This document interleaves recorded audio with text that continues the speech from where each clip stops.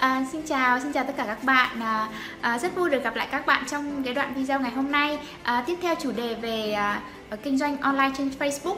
Trang xin nhắc lại một chút là hiện tại Trang đang làm một cái dự án đó chính là sẽ hướng dẫn cho các bạn uh, cái cách thức uh, kinh doanh trên trang mạng xã hội uh, như là Facebook, Zalo uh, và YouTube thì uh, cách hoàn toàn miễn phí và đây cũng chính là những cái cách mà Trang đã áp dụng và hiện tại cũng đã có mang được một số cái thành quả nhất định. Theo thì cái chuỗi chủ đề kinh doanh về kinh doanh uh, trên Facebook miễn phí thì Trang sẽ hướng dẫn cho các bạn một cái cách.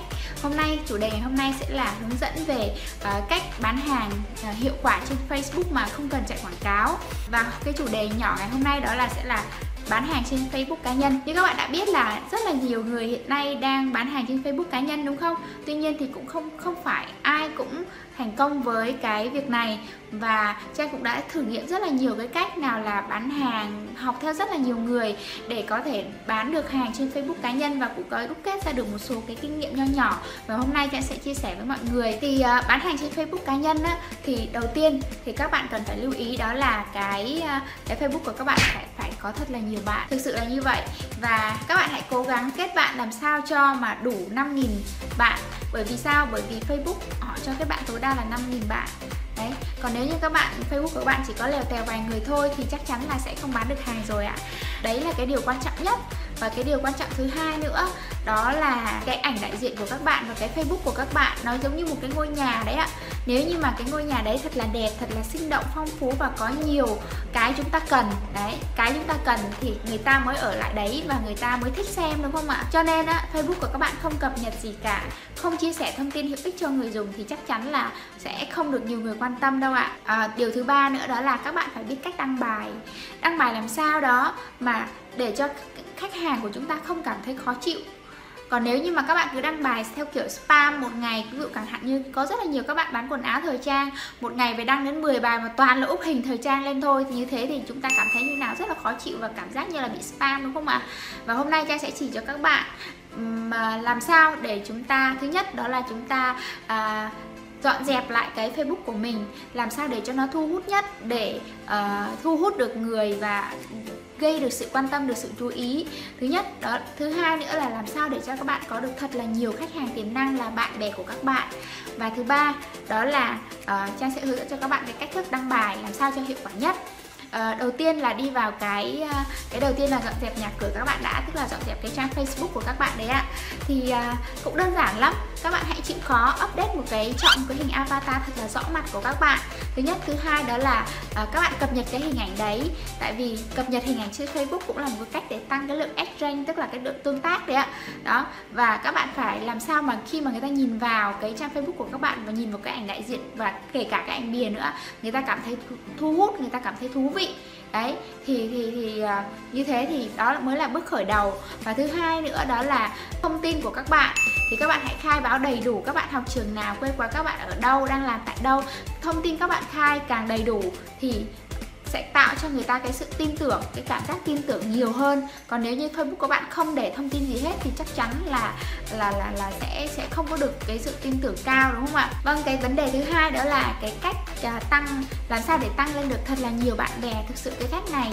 Và trang cũng đã mất rất là nhiều thời gian để loay hoay loay hoay làm sao để cho cho cái facebook của mình uh, có thật là nhiều bạn bè thì uh, cái cách làm mà trang đã từng làm trước đây á thứ nhất đó là trang sẽ đi kết bạn với những khách hàng tiềm năng của mình chủ động đi kết bạn và tới bây giờ cái cách đấy rất rất rất rất là hiệu quả. Mỗi ngày thì các bạn không nên gửi quá 50 lời mời kết bạn bởi vì nếu như các bạn gửi nhiều hơn thì chắc chắn Facebook sẽ đánh cho các bạn là spam và khóa tài khoản của các bạn. Vậy thì làm sao để kết bạn đúng đối tượng? Thì hãy đi tham gia vào những cái nhóm, những cái group. Và trước hết là các bạn phải định vị lại khách hàng tiềm năng của các bạn là ai. Chẳng hạn như hiện tại trang đang bán sản phẩm giảm cân, thì khách hàng tiềm năng của trang đó là gì? Là những người có nhu cầu muốn giảm cân, đúng không ạ? Và chúng ta sẽ hỏi ai sẽ là người có nhu cầu muốn giảm cân? Vâng đó chính là người có cân nặng, đúng không? Vậy thì tìm họ ở đâu? Họ là ai? Họ làm gì? Đấy, họ đang ở đâu trên Facebook? Và ngoài đời thực thì họ ở đâu? Đấy, chúng ta làm sao để kết bạn được với họ? Các bạn hãy đặt ra những cái câu hỏi như thế và định vị khách hàng tiềm năng của mình. Tiếp một cái ví dụ nữa chẳng hạn như các bạn bán đồ thời trang chẳng hạn hoặc mỹ phẩm chẳng hạn. Mỹ phẩm đi thì các bạn bảo khách hàng tiềm năng của các bạn là ai? Vậy thì các bạn hãy nhìn lại sản phẩm của các bạn đang phục vụ cho nhóm đối tượng nào? Cho những người uh, trung niên trung niên xài mỹ phẩm khác nha các bạn và người trẻ người ta dùng mỹ phẩm kiểu khác đấy các bạn trẻ thì khoái mỹ phẩm của Hàn Quốc có một cái làn da căng bóng chẳng hạn ví dụ thế. Thì các bạn hãy đi tìm những bạn đấy thì các bạn sẽ quan tâm những vấn đề gì? Chẳng hạn như là uh, những bạn trẻ thì thích thích gì ạ? À? thích những cái nhóm nhạc những ca sĩ thường xuyên like những cái fanpage đấy hoặc là à, họ thường lui tới những cái địa điểm nào đấy ăn uống tụ tập chơi bời chẳng hạn. Các bạn hãy vào đấy để kết bạn với họ. Đấy thì um, mỗi ngày các bạn cứ kiên trì kiên trì như thế thì trong vòng 1 đến 2 tháng thì các bạn sẽ có một cái lượng bạn đầy đủ.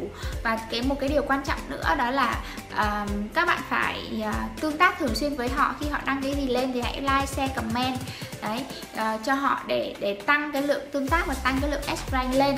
Thì uh, liên quan đến cái vấn đề này thì trang hình như cũng đã có một cái video trước đó chia sẻ rồi. Thì nếu như các bạn muốn thì trang chắc chắn sẽ sau này sẽ làm nguyên một cái cái cái cái chủ đề đi sâu hơn về cái cách thức các bạn đúng cách đúng cái tập khách hàng tiềm năng của mình đấy.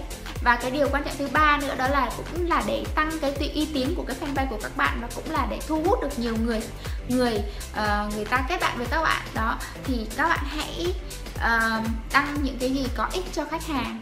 Đừng bao giờ bán hàng mà cứ suốt ngày đăng bán hàng đăng hình ảnh bán hàng các kiểu thì như thế người ta sẽ cảm thấy khó chịu. Bởi vì nếu như người ta có nhu cầu thì chắc chắn người ta sẽ vào người ta hỏi không cần các bạn phải spam người ta liên tục như thế. Ví dụ như bây giờ trang đang bán sản phẩm để giảm cân hoặc đó, thì trang sẽ chia sẻ những kiến thức hữu ích cho những cái đối tượng khách hàng đấy chẳng hạn như là gì? Thứ nhất đó là cách ăn mặc, cách cách ăn mặc cho người người mập chẳng hạn. Hoặc là thứ hai đó là mẹo giảm cân nhanh tại nhà bằng hoa quả, bằng trái cây chẳng hạn. Đấy đấy là những cái bài nó rất là hữu ích cho người ta người ta đọc. Rồi cái cách thức tập thể dục hoặc là cách thức ăn uống làm sao để không bị tăng cân chẳng hạn. Đấy đấy chính là những cái cái bài chia sẻ thông tin hữu ích cho người dùng. Và một theo theo quy tắc 80 20 thì 80% chia sẻ bài viết chia sẻ của các bạn hãy chia sẻ về những cái gì có ích cho khách hàng. Còn chỉ có 20% là các bạn chia sẻ về bán hàng thôi.